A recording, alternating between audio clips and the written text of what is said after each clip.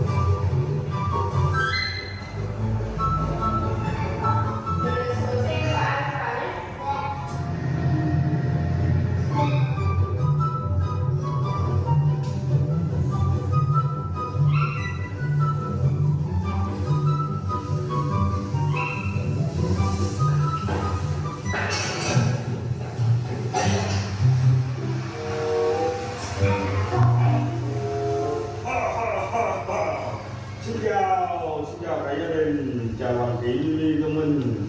Chào bạn chiếc chào bạn thiên Cây rồi mình chào bạn Thanh Cây nè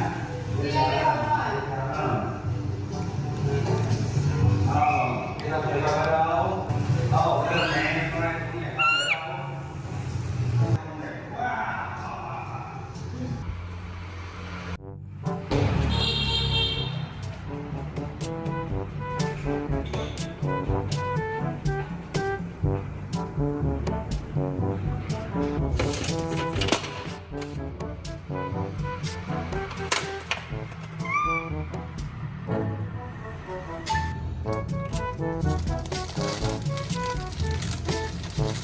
Thank